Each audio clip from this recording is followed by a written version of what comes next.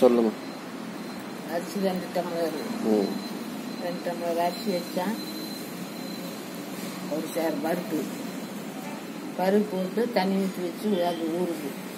இங்கே தக்காளி வெங்காயம் கருவேப்பிலை மிளகா எல்லாம் கிள்ளி ரெடியாக வச்சுக்குவோம் அப்புறம் பெரிய கரண்டி இருந்தால் ரெண்டு கரண்டி எண்ணெய் ஊற்றுவோம் வளர்த்துக்கு ஊற்றி கடுகு கருவேப்பிலை வெள்ளைப்பூண்டு வெங்காயம் ஒரு நாலு மிளகா போடுறோம் அப்புறம் வச்சு எல்லாம் போட்டு சோற வணக்கணும் வணக்கி இந்த இடத்துல குக்கரில் சோறு வச்சிடும் முதல்ல வடக்கல் வெட்டி அதில் இந்த வெங்காயம் மிளகாய் சோறை வணங்குறதுக்குள்ள இந்த இடத்துல சோறு கொதி வரும் இதை எடுத்து அதில் ஊற்றி மஞ்சத்தூள் மிளகாத்தூள் ஒரு கரண்டி உப்பு எல்லாம் போட்டோம்னா தலைப்புலன்னு கொதிக்கும் உப்பு இருக்குதான்னு எடுத்து குக்கர் சோத்தையும் உப்பு இருக்குதான்னு பார்த்துக்கலாம்.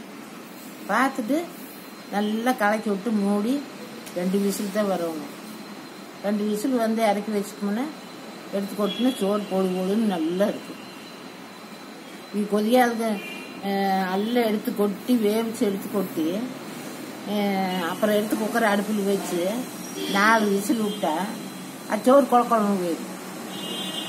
நான் சொல்கிறேன் பெத்தாள் செஞ்சால் நீ பழ பழம்னு இருக்கு சாப்பாடு.